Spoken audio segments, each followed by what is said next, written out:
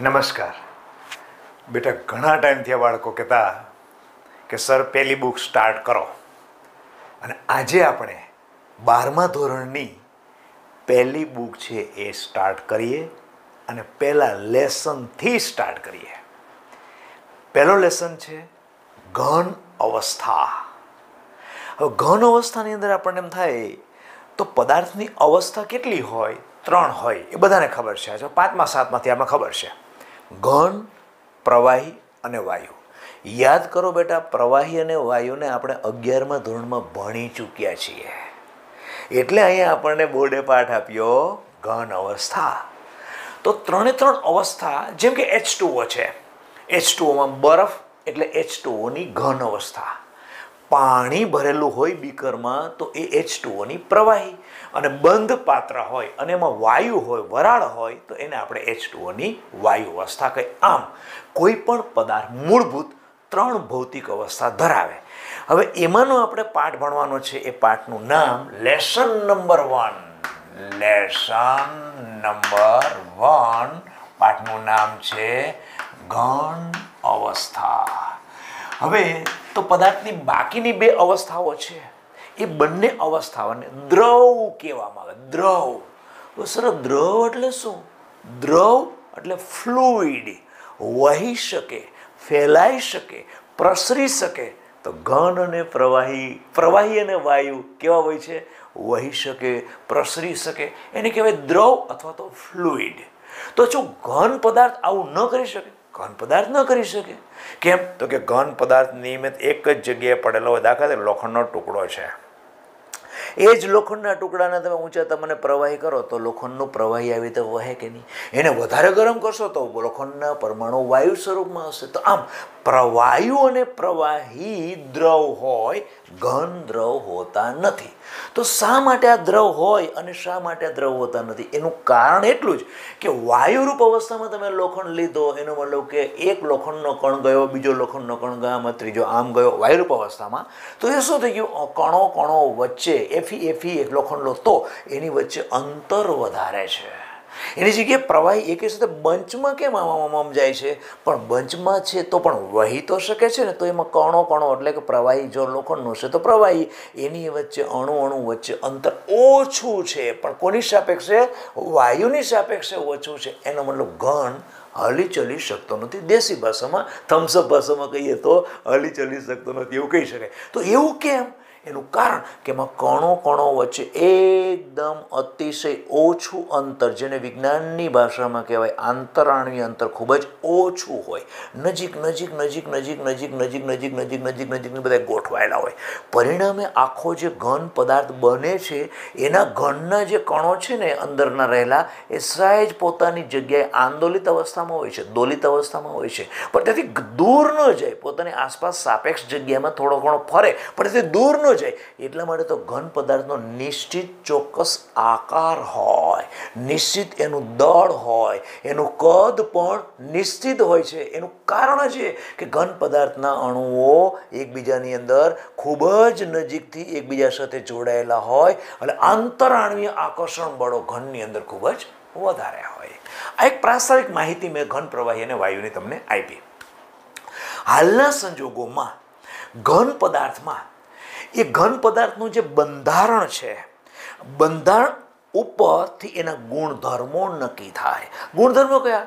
વહનશીલતા, વિદ્યુત વાહકતા, વક્રી ભવનાંક, અવરોધ, યાંત્રિક મજબૂતાઈ. આ બધા ઘન પદાર્થના ગુણધર્મો એના બંધારણ ઉપર આધારિત હોય છે.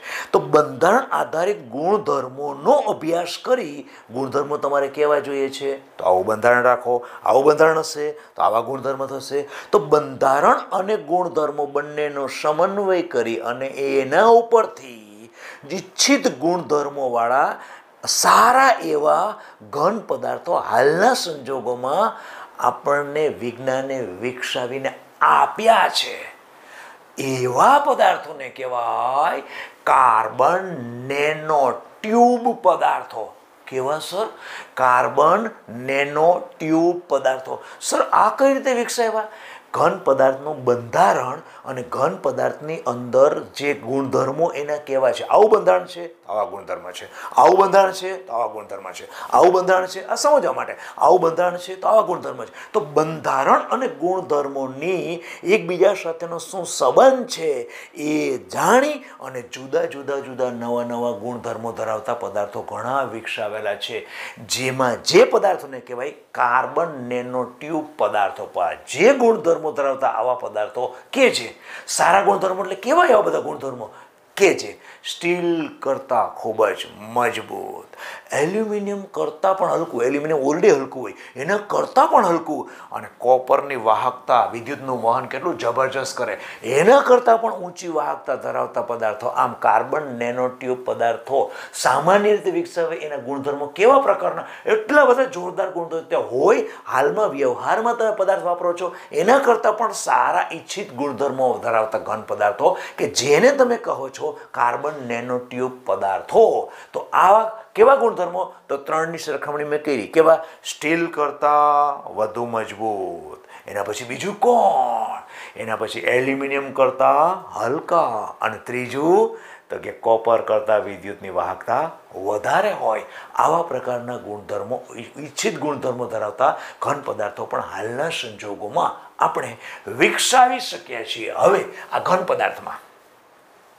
ઘન પદાર્થના સામાન્ય ગુણધર્મો શું? સામાન્ય ગુણધર્મો વિચાર કરે. સામાન્ય ગુણધર્મો શું? ઘન અવસ્થાની વાત કરી તો ઘન પદાર્થ સામાન્ય ગુણધર્મ એક તો પેલું મેં હમણાં જ કીધું કે એનો ચોક્કસ આકાર હોય, ચોક્કસ એનું કદ હોય અને ચોક્કસ આકાર ચોક્કસ કદ અને એને ત્રાજવામાં નાખો તો વજન પણ ચોક્કસ. કારણ કે વહી જવાનું નથી ભાઈ. આમ ઘન પદાર્થની ઘન અવસ્થા જે તમે કહો છો, એની સામાન્ય લાક્ષણિકતાઓ શું છે? સામાન્ય લાક્ષણિકતા એ જ કે નિશ્ચિત વજન ચોક્કસ કદ ચોક્કસ દળ થયું, ચોક્કસ કદ થયું અને ચોક્કસ એનો આકાર. ઓકે અને એમાં અણુ અણુ વચ્ચે અંતરાણવી અંતર ખૂબ જ ઓછું. અણુ અણુ વચ્ચે આકર્ષણ ખૂબ જ વધારે. એમાં કણો કણો વચ્ચે રહેલા જે નાના નાના કણો છે, એ પોતાની જગ્યાએ નિશ્ચિત રીતે આવી રીતે આંદોલિત થતા હોય અને એની પર તમે દબાણ આપો, તો પણ એને દબાણની ઘન પદાર્થને કોઈ અસર ન થાય. એનો મતલબ અસંકોચનીય હોય. આ થઈ ઘન અવસ્થાની સામાન્ય લાક્ષણિકતાઓ. ઓકે ચાલો. હવે બીજું આગળ. હવે મારે જે સામાન્ય પ્રાસંગિક માહિતી પૂરી થઈને બેટા હવે જે વિદ્યાર્થીઓને દર વર્ષે મોસ્ટ ઓફ કન્ફ્યુઝન આવે છે ને, એ વસ્તુ મારે તમને બતાવી છે. ઘન પદાર્થમાં મેં તમને કીધું કે કણો કેવા છે? નાના નાના નાના, સૂક્ષ્મ કણો એકબીજાની નજીક નજીક નજીક નજીક ગોઠવાયેલા છે. ઓકે તો ઘન પદાર્થના કણોની ગોઠવણીને આધારે બે પ્રકારે પાડવામાં આવે. બે પ્રકાર. એક છે સ્ફટિકમય ઘન પદાર્થ છે એના બે ગુણ ભાગ પાડ્યા. એક છે સ્ફટિકમય ઘન પદાર્થ. સ્ફટિકમય ઘન પદાર્થ અને બીજું છે અસ્ફટિકમય અસ્ફટિકમય ઘન પદાર્થ. અચ્છા. હવે આના ઉદાહરણ કોઈ ખરા? યસ કોણ? તો કે જો ક્વાર્સ છે ક્વાર્સ ક્વાર્સ પછી એનએસીએલ એટલે કે સોડિયમ ક્લોરાઇડ પછી આ જગ્યાએ કોણ? તો કે કાચ છે, ક્વાર્સ કાચ છે, એના પછી પ્લાસ્ટિક છે પ્લાસ્ટિક છે, એના પછી રબર છે, આ બધા કેવા અસ્ફટિકમય તો પહેલી દ્રષ્ટિએ આપણને શું લાગે? સર, આ એ ઘન છે, આ એ ઘન છે, આ એ ઘન છે, આ એ ઘન છે, આ એ ઘન છે, બધા ઘન છે. તો એમાં તમે બે પ્રકાર કઈ રીતે વિજ્ઞાનના પાડ્યા હશે? એક સ્ફટિકમય ઘન પદાર્થ અને એવા અસ્ફટિકમય ઘન પદાર્થ. બંનેમાં ડિફરન્સ શું છે, સર? ડિફરન્સ છે બેટા. અને એ જે ડિફરન્સ છે ને, એ એની અંદર રહેલા કણોની ગોઠવણીને કારણે છે. ઘન પદાર્થ જ્યારે સ્ફટિકમય અવસ્થામાં હોય, અને આપણે આ પાઠની અંદર આના જ સ્ફટિકમય પદાર્થના બંધારણ છે, એમાં જુદા જુદા ગુણધર્મો દાખલ, અશુદ્ધિ કે તાપમાન વધારે ગુણધર્મો દાખલ કરી શકે, એ બધું પાછળ આવશે. આના વિશે જ અભ્યાસ કરવાનો છે. આના વિશે વધારે અભ્યાસ નથી. એટલે આપણે સ્ફટિકમય ઘન પદાર્થ પહેલાં તો શું છે અને અસ્ફટિકમય ઘન પદાર્થ શું છે, એ બંનેનું પહેલાં તો નિરાકરણ કરીએ કે પહેલાં આ શું છે. સ્ફટિકમય ઘન પદાર્થમાં ઘન પદાર્થ આખો આ પડેલો હોય, તમારી પાસે ઘન પદાર્થ પડેલો હોય, એની અંદર જે કણો છે ને, આ કણોની ગોઠવણી એકદમ નિયમિત હોય નિયમિત હોય, એકદમ નિયમિત કણોની ગોઠવણી થયેલી હોય. એક પછી બીજું, બીજા પછી ત્રીજું, એવી રીતે કણોની ગોઠવણી જો આવી રીતે આમ નિયમિત થયેલી હોય. તો જે ઘન પદાર્થમાં કણોની ગોઠવણી નિયમિત થયેલી હોય, એવા ઘન પદાર્થને સ્ફટિકમય ઘન પદાર્થ કહેવામાં આવે અને એના ઉદાહરણ મેં તમને આપ્યા અને પછી બંનેની વચ્ચે સરખામણી આપણે કરીશું. ઓકે. તો સ્ફટિકમય ઘન પદાર્થ, કે જેનું ઉદાહરણ કોણ? ક્વાર્સ છે એનએસસીએલ છે સોડિયમ ક્લોરાઇડ છે, કાચ. પછી આમાં કોણ? પ્લા કાચ સોરી સોરી ક્વાર્સ અને આ, અહીંયા જો ક્વાસ, કાચ ક્વાર્સ હોય ને તો અસ્ફટિકમયમાં એટલે મૂળ કાચ, પ્લાસ્ટિક અને રબર, આના ત્રણ અસ્ફટિકમય ઉદાહરણ રાખજો. જ્યારે ક્વાર્સ અને એનએસસીએલ આ બધા ઘણા બધા સ્ફટિકમય ઘણ પદાર્થો તો ઘણા બધા છે. અચ્છા, બેમાં ફરક શું? પહેલો ફરક મેં તમને બતાવ્યો. શું? કે સ્ફટિકમય ઘન પદાર્થમાં કણોની ગોઠવણી નિયમિત હોય અને લાંબા ક્રમ સુધી હોય. લાંબા ક્રમ સુધી હોય એટલે કે, જો આવી રીતે આ એક મેં આખું બોક્સ બનાવ્યું, બીજું આ પાછું બોક્સ બનાવ્યું, પાછું અહીંયા પણ એક બોક્સ બન્યું, પાછું અહીંયા પણ એક બોક્સ બન્યું. પાછું અહીંયા પણ એક બોક્સ બન્યું. પાછું અહીંયા પણ એક બોક્સ બને. અહીંયા પણ એક બોક્સ બન્યું. આ પણ બોક્સ બન્યું. આ પણ બોક્સ બન્યું. આવી રીતે કન્ટિન્યુ સતત ના સતત એક જ ધારી લાઇનની અંદર આમાં કન્ટિન્યુ જતું રહે. જેવી રીતે તમે દાખલા તરીકે છવ્વીસ જાન્યુઆરી પંદર ઓગસ્ટ જે તો સૈનિકો પરેડ કરતા હોય ત્યારે ઉપરથી હેલિકોપ્ટરથી ફોટો પાડેલો હોય તો કેવું લાગે? એક્ઝેક્ટ તાડ ધાર ધાર ધાર ધાર ધાર તાડ તાડ એક સરખું જ લાગે કે નહીં? આવી રીતે ક્રમસર કદાચ એક કિલોમીટર લાંબી પણ હોય તો એકદમ નિયમિત ગોઠવણી. આટલું અંતર એટલે આટલું અંતર આટલું અંતર એટલે આટલું અંતર આટલું અંતર એટલે આટલું સેમ ટુ સેમ અંતર હોય. તો એ સમજો કે સૈનિકો છે ને એક પ્રકારના કણો છે. અને એની કલ્પના કરો કે એ આખો પદાર્થ તમારો ઘન પદાર્થ બન્યો તો એ ઘન પદાર્થને કહેવાય સ્ફટિકમય ઘન પદાર્થ. તો સ્ફટિકમય ઘન પદાર્થમાં કણોની ગોઠવણી એક સરખી નિયમિત હોય અને લાંબા ક્રમ સુધી જળવાતી હોય. જ્યારે અસ્ફટિકમય ઘન પદાર્થમાં કણોની ગોઠવણી એક તો નિયમિત ન હોય. પહેલી વસ્તુ આ. બીજું, લાંબા ક્રમ સુધી ન હોય, થોડુંક જ હોય, પછી પાછી ગુણ બદલી જાય, પાછી બદલી જાય. એટલે અસ્ફટિકમય ઘન પદાર્થ અને સ્ફટિકમય ઘન પદાર્થનો મૂળ ડિફરન્સ ખબર પડી ગઈ કે સ્ફટિકમય ઘન પદાર્થમાં કણોની ગોઠવણી એકદમ લાંબા ક્રમ સુધી નિયમિત અવસ્થામાં જોવા મળે છે. જ્યારે અસ્ફટિકમય ઘન પદાર્થમાં આવી રીતે ક્રમ, કણોની ગોઠવણી, કણો એટલે અણુ પરમાણુ કે આયન. એ તે અણુ પણ હોઈ શકે, પરમાણુ પણ હોઈ શકે કે આયન પણ હોઈ શકે. જેનાથી એ બનેલો હશે, આયનો હશે તો આયનીય ઘન પદાર્થ કહેવાશે. તો જેમ કે એનએસીએલ કહું તો Na plus Cl minus Na plus Cl minus Na plus Cl minus Na plus CM Na plus Cl minus Na plus એ રીતે કન્ટિન્યુ હોય છે. અચ્છા, પરિણામે શું થાય? બે વચ્ચેનો હવે મારે તમને ડિફરન્સ કહેવાનો છે ને, એ વસ્તુ હું તમને કહું કે સ્ફટિકમય ઘન પદાર્થો અને અસ્ફટિકમય ઘન પદાર્થોમાં અસ્ફટિકમય ઘન પદાર્થો સ્વભાવે સમદૈશિક હોય. અચ્છા, આ પદાર્થો કેવા હોય, સર? સમ સિક હોય. આ પદાર્થો સમદેશિક છે. જોજો. અને આ પદાર્થો છે ને અસમદેશિક છે. અસમદેશિક. અસમ દેશિક અથવા તો વિષમદેશિક. અસમદેશિક કે વિષમદેશિક એટલે કે એક એક નામ એવું આપ્યું કે સમદેશિક અને બીજાને અસમદેશિક વિષમદેશિક. ચાલો, વિષમદેશિક, અસમદેશિક વિષમદેશિક. બેમાં ફરક શું છે? આ દેશિક એટલે શું? દિશા.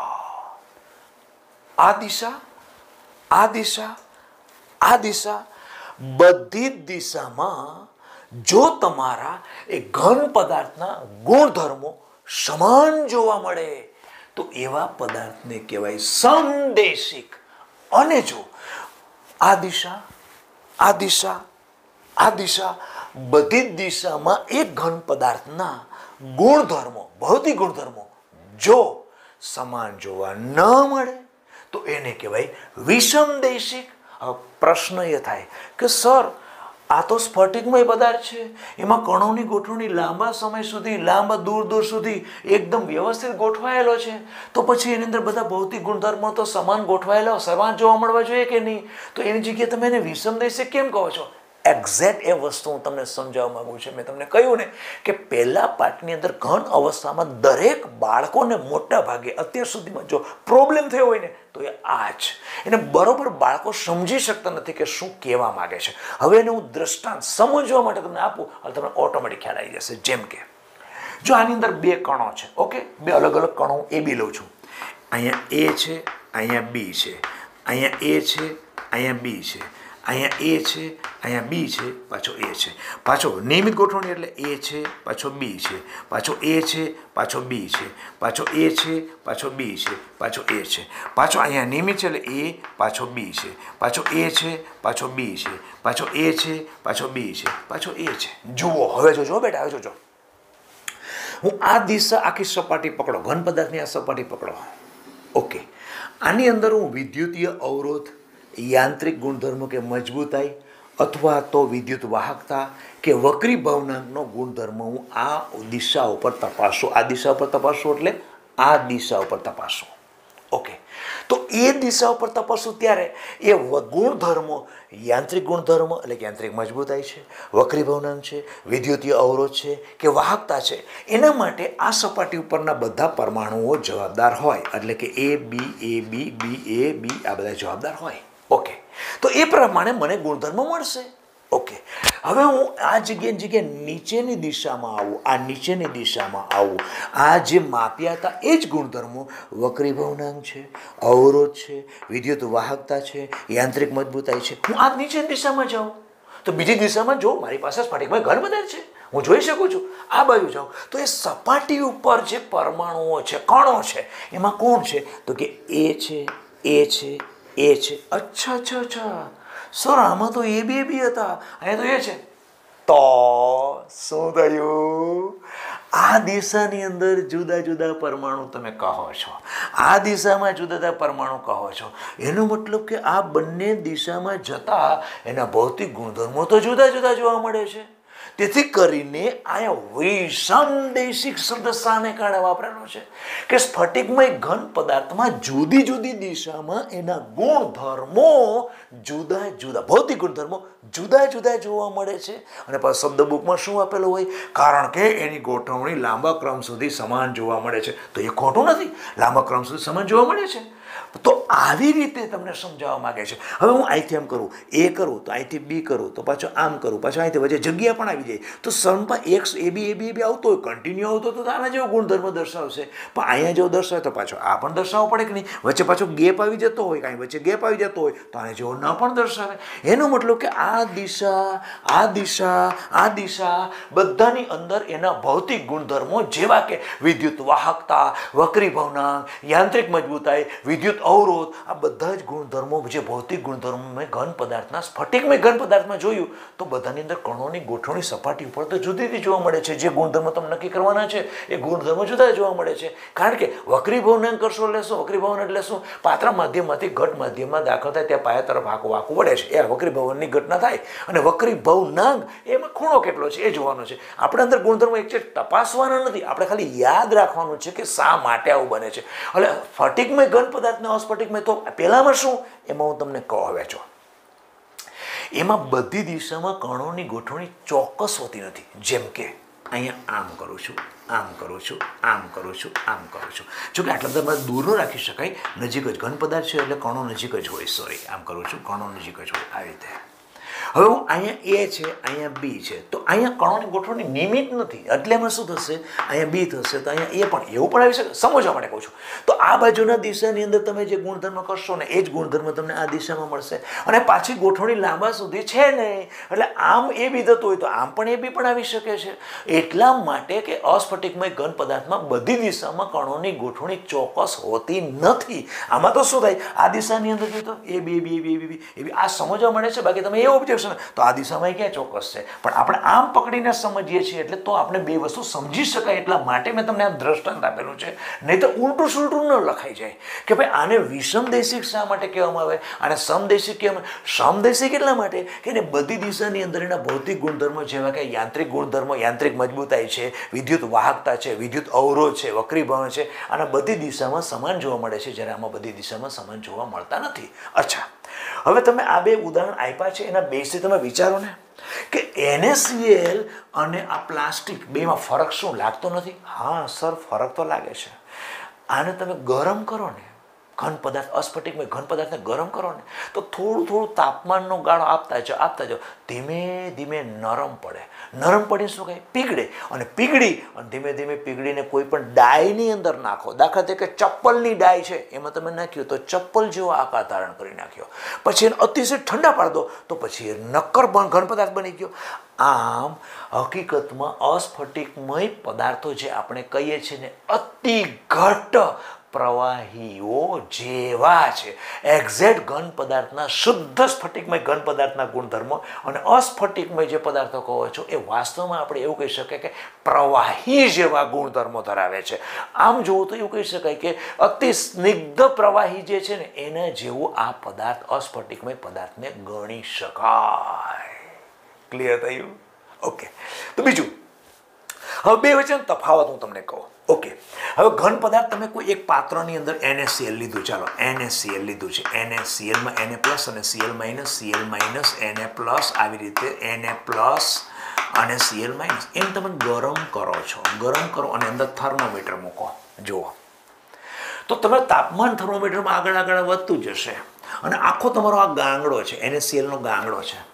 એક સમય એવો આવશે કે આખો એનએસસીએલનો ગાંગડો સમ કરતો સીધો પ્રવાહી એટલે એ તાપમાન તમે નોંધી લીધું એ તાપમાનને એનું શું કહેવાય ગલન બિંદુ જે તાપમાને આપેલ ઘનનું ગલન થાય એ તાપમાનને એ ઘનનું શું કહેવાય ગલન બિંદુ ઓકે હવે તમે નોંધી લીધું જે પણ નોંધાયું કે દાખલા તરીકે એકસો ને બ્યાસી અંશ સેલ્સિયસ જે પણ આવતું હોય આપણે ખ્યાલ નથી જે આવતું હોય એટલો મેં નોંધી લીધું બરાબર છે ઓકે હવે અસ્ફટિકમય ઘન પદાર્થ તમે અહીંયા રબર કે પ્લાસ્ટિકના ટુકડાને આવી રબર લાંબો લાંબો લાંબો રબર લઈ લીધું. ચાલો, આવી તમે રબર રબર રબર લાંબો લીધું. એ તમે ગરમ કરો છો.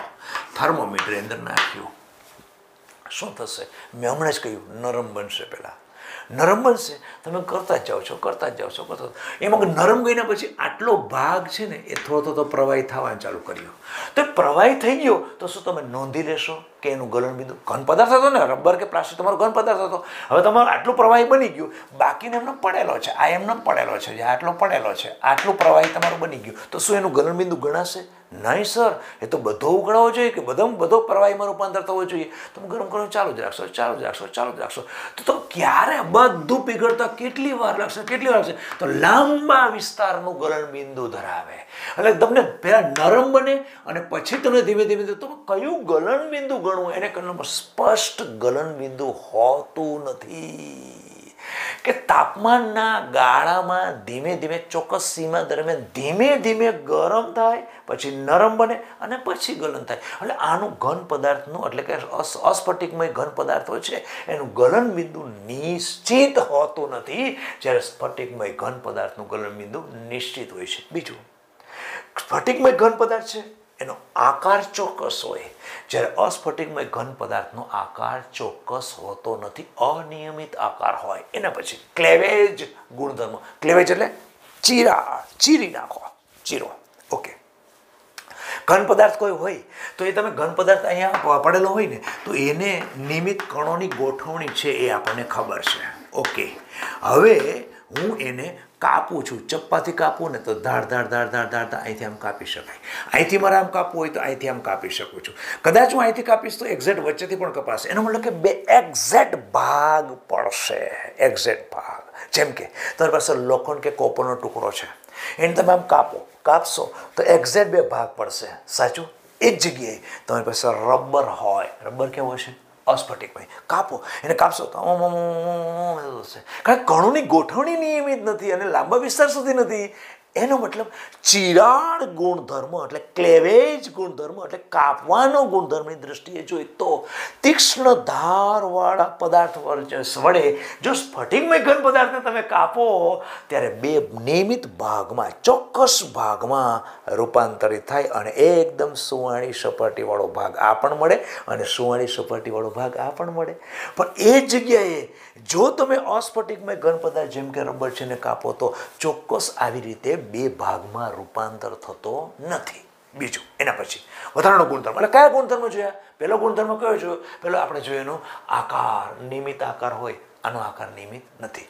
ગલનબિંદુ નિયમિત હોય છે. નિશ્ચિત ગલનબિંદુ હોતા નથી. ચિરાળ ગુણધર્મ કોઈ પણ બે જગ્યાએ કોઈ પણ ઉપરથી કાપવામાં આવે તો સુવર્ણાવાળી બે ભાગ, સુવાળી બે ભાગ છૂટી પડે છે અને ચોક્કસ ભાગ એક હદરેખાથી એને કાપી શકો છો. નિયમિત બે ભાગ છૂટા પડે છે. નિયમિત ભાગ છૂટા પડે નિયમિત રીતે આની જેમ કાપી શકાતું નથી. અને હવે ગલન ઉષ્મા. ગલન ઉષ્મા એટલે શું? ગલન ઉષ્મા એટલે તમે આને ગલન કર્યો નહીં? ઓકે, કર્યો? તો ગલન કરવા માટે ઉષ્મા તો આપવી પડે ને.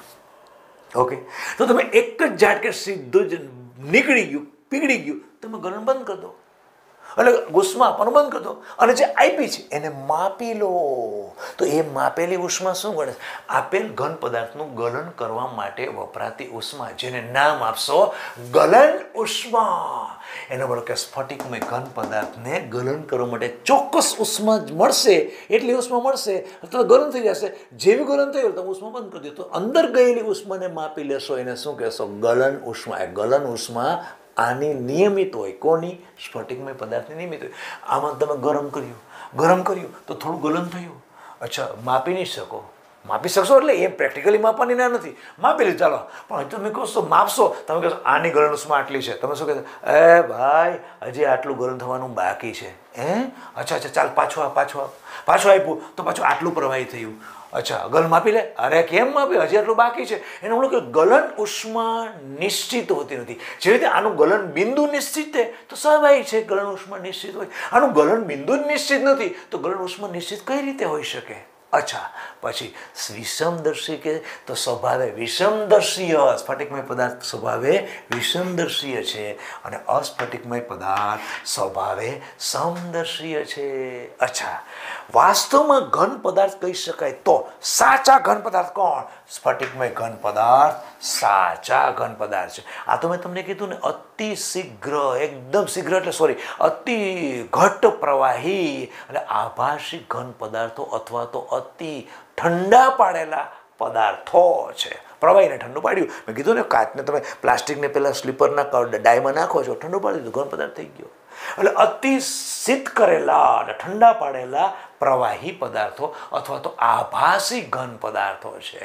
અને પછી ઘટક કણોની ગોઠવણીની દ્રષ્ટિ વિચારીએ તો આમાં ઘટક કણોની ગોઠવણી નિયમિત લાંબા ક્રમ સુધી જોવા મળે છે. જ્યારે આમાં લાંબા ક્રમ સુધી, બહુ ટૂંકા ક્રમ સુધી જોવા મળે છે. ફક્ત ટૂંકા વિસ્તાર સુધી જોવા મળે છે. આ થયો આપણો કયો કયો? બે ડિફરન્સ કોને કોની વચ્ચે? સ્ફટિકમય ઘન પદાર્થ અને અસ્ફટિકમય ઘન પદાર્થ. અને હવે લેવા છે આપણે છેલ્લે લાસ્ટ બહુ સ્ફટિકમય ઘન પદાર્થ. અરે સર, પાછો આ નવું શું આવ્યું? બહુ સ્ફટિકમય ઘન પદાર્થો શું છે? કયા એવા છે. ઘણા પદાર્થો, ધાતુઓ જેમાં જનરલી જોવા મળે. ઘણા પદાર્થો એવા છે કે જે દેખીતી રીતે તમને અસ્ફટિકમય લાગે. કેવા લાગે? દેખીતી રીતે અસ્ફટિકમય લાગે એટલે સમદેશિક લાગે. પડેલો હોય, તમને કેવો લાગે?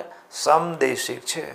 બધી દિશામાંના ભૌતિક ગુણધર્મો, જેવા કે યાંત્રિક ગુણધર્મો વિદ્યુત વાહકતા અવરોધ, વકરી ભવનાંક અને બધી દિશામાં સમાન હોવા જોઈએ. એનો મતલબ કે સમદેશિક છે, એનો મતલબ કે અસ્ફટિકમય છે. ઘણા પદાર્થો એવા જોવા મળે, જેમ કે ઘણી બધી ધાતુઓ છે.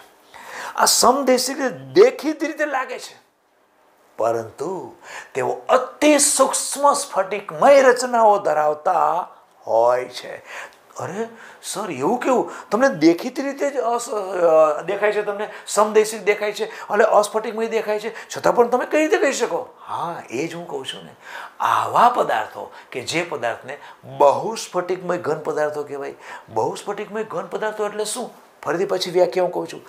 દેખીતી રીતે ઘણા એવા ઘન પદાર્થો છે કે જે સમદેશિક તરીકે વર્તતા હોય. સમદેશિક તરીકે દેખાતા હોય એટલે કે અસ્ફટિકમય રીતે દેખાતા હોય. પરંતુ તેમાં અતિ સૂક્ષ્મ સ્ફટિકમય રચનાઓ ધરાવતા હોય છે. એટલે કે અંદરની રચના કેવી હોય છે? અતિ સૂક્ષ્મ સ્ફટિકીય રચના ધરાવતા હોય. આવા પદાર્થોને કહેવાય બહુ સ્ફટિકમય ઘન પદાર્થો. અચ્છા, આવું ક્યાં બને, સર? અરે, ઘણી બધી કેટલીક ધાતુઓના નમૂનામાં શું હોય છે કે વ્યક્તિગત સ્ફટિક હોય. આ છે વ્યક્તિગત સ્ફટિક, જેને કહેવાય એકમ કોષ. આપણે આગળ જોઈશું આને. આ વ્યક્તિગત સ્ફટિક. આ પણ પાછું વ્યક્તિગત સ્ફટિક. આ પણ આપણો વ્યક્તિગત સ્ફટિક. વ્યક્તિગત સ્ફટિક એની અંદર હોય જ. પણ આ દરેક વ્યક્તિગત સ્ફટિકો અસ્તવ્યસ્ત ગોઠવાયેલા હોય. આજે આમ ગોઠવાયો આમ ગોઠવાયો આમ ગોઠવાયો. એની જગ્યાએ આ આમ ગોઠવાયો છે તો આમનો ગોઠવાયો. સેજ ક્રોસમાં ગોઠવાયો. અથવા નીચે ગોઠવાયો આ સેજ ઉપર ગોઠવાયો. તો વ્યક્તિગત સ્ફટિકો અંદર અંદર તો સ્ફટિકીય રચના છે જ. અંદર વ્યક્તિગત સ્ફટિકો અસ્વ્યસ્ત ગોઠવાઈ ગયેલા હોય.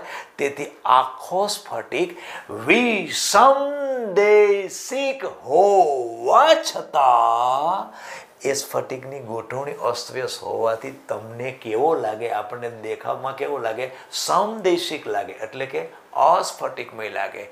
આવા પ્રકારના પદાર્થોને કહેવાય બહુ સ્ફટિકમય ઘન પદાર્થો. આ થઈ ગયું ત્રીજી વસ્તુ કે જે નાની વસ્તુ આપણે શીખવાની હતી. હવે ખાસ. અસ્ફટિકમય પદાર્થો કોણ કોણ છે? તો કે કાચ છે, ક્વાર્સ કાચ છે, પ્લાસ્ટિક છે, રબર છે, અને એક સારામાં સારો કે જે ઉત્તમ ફોટો વોલ્ટેક પદાર્થ કે જે સિલિકોન છે.